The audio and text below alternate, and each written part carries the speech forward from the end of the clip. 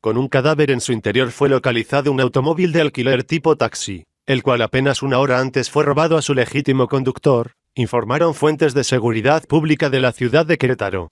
Los hechos iniciaron en la colonia Eduardo Lorca, donde dos sujetos solicitaron un servicio de taxi.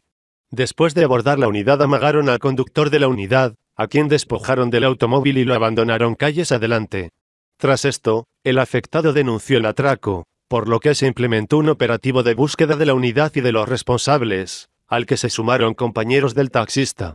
Fueron precisamente trabajadores del volante quienes horas después lograron ubicar el vehículo de alquiler en la calle 25, de la colonia 15 de Mayo, informando al afectado del paradero de la unidad.